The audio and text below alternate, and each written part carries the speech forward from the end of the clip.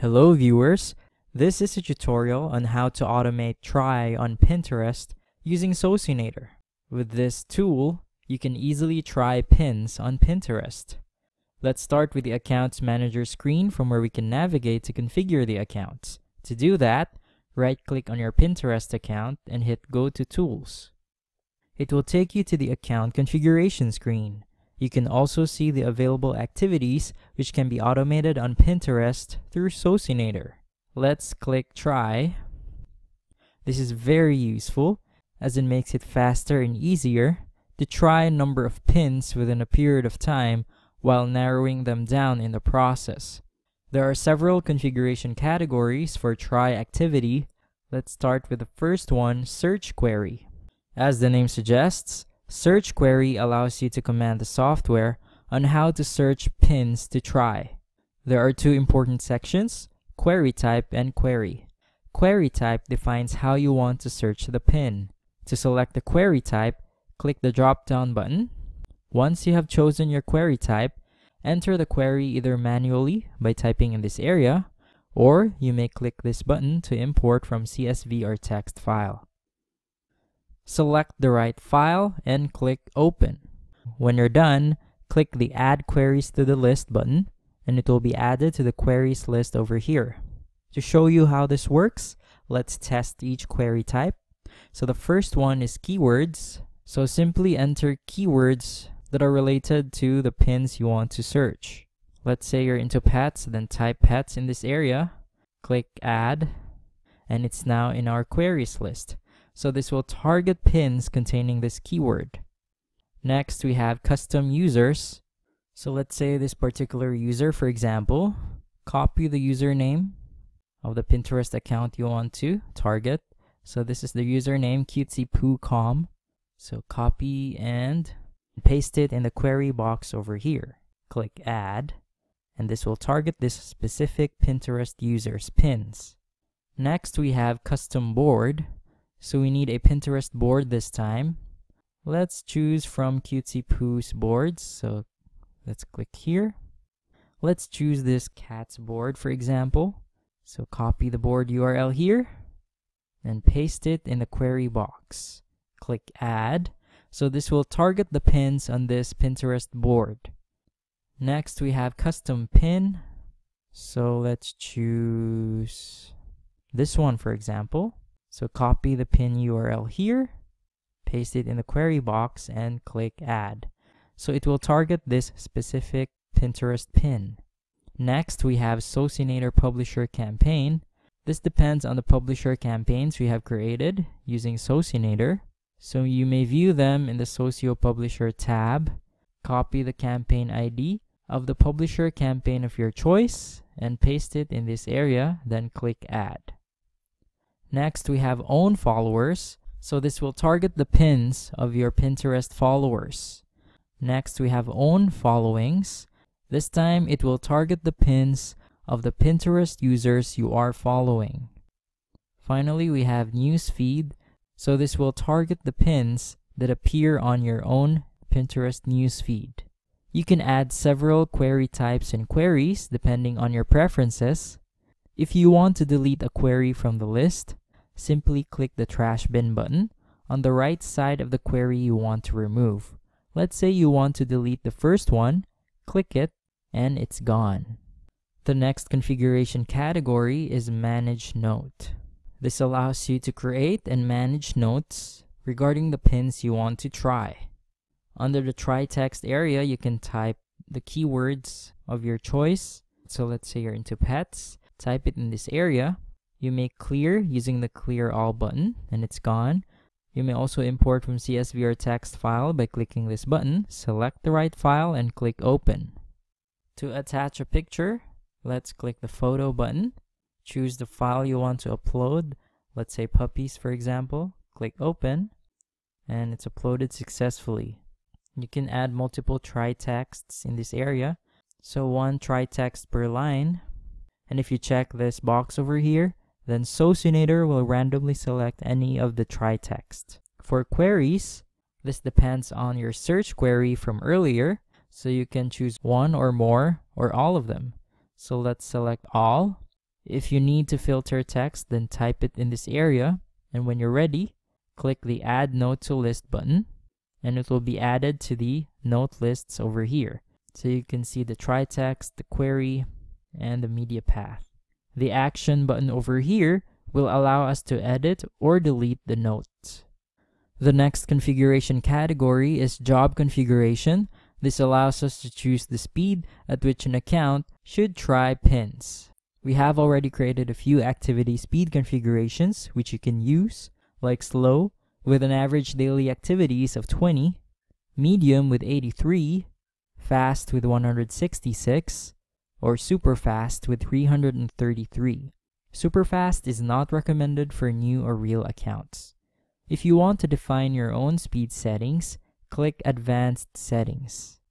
Delay between each operation is the number of seconds between each pin is tried.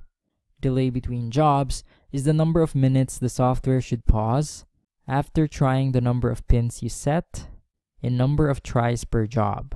Number of tries per job will allow you to specify the number of pins you want to try per job or per cycle. You may also specify the number of pins to try per hour, per day, and per week. Click this box to increase each day with a specific number until it reaches another custom number of max tries per day. You can also create a daily schedule under day of the week when to operate. This is very useful if you want to keep trying pins even when you're asleep or busy doing other things.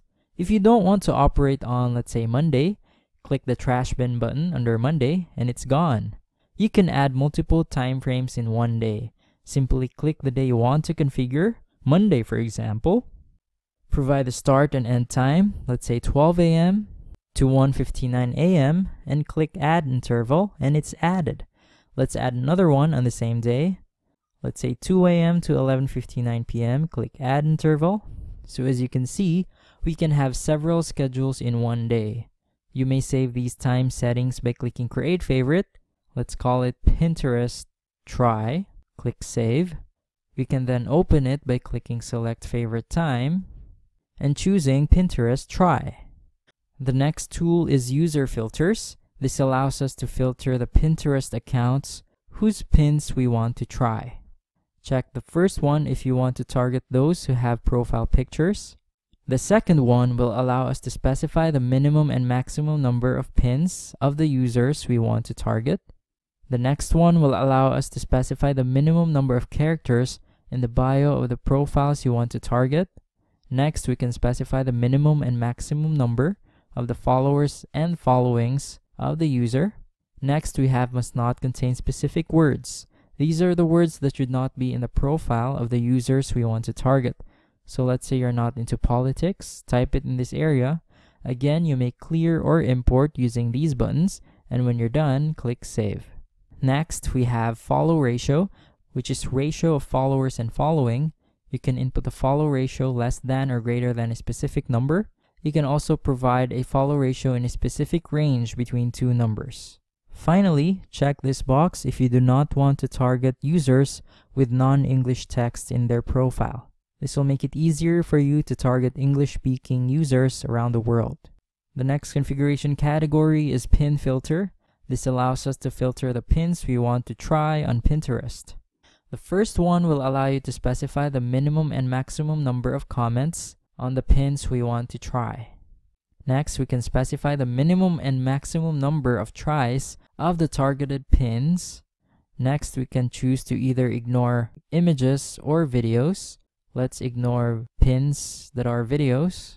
Next, we can specify caption blacklists. So these are the words that should not be in the pin's caption. So let's say politics again. You may clear or import using these buttons, and when you're done, click Save. The next one is the opposite of the previous one. These are the captions that you want to whitelist. So let's say you're into pets. Type it in this area. Again, you may clear or import using these buttons, and when you're done, click Save. The next tool is After Try Action. So these are the actions you want to perform after trying a certain pin. So first, you can choose to follow the user after trying their pins.